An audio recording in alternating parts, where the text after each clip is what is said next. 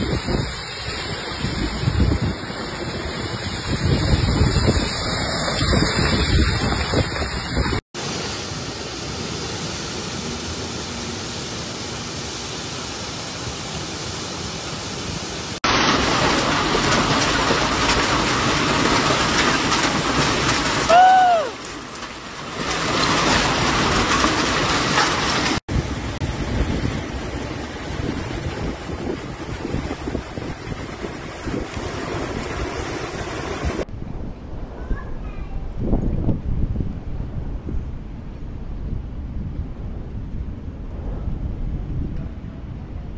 Storms and heavy rain in much of Germany flooded roads and forced Sinclair show some major inroads Friday, but no injuries were reported. Earlier this week, Germany's National Weather Service warned a severe storm with a significant rainfall that hit Tuesday. In the western city of Duisburg, the fire department said it rescued several people from cold stuck and flooded streets. In the northern city of Brunswick, stores and streets were flooded, and similar reports come from Kassel. In a Hattersheim and Frankfurt, trees fell on house and car. German news agency reported. Germany's national ray operated Deutsche Borg said the main line between Hamburg and Berlin was closed because of hurricane damage, as well the main south road between Kassel and Göttingen. Transportation authority in the city of Kassel in the central state of Hesse said passenger service were disrupted by the storm and it is yet clear to normal traffic will resume. Emergency authority in the western city of Neuwied and Rhineland Palatinate told the German new agency that people had no risk from their car after rainwater flooding in underpass late Tuesday night.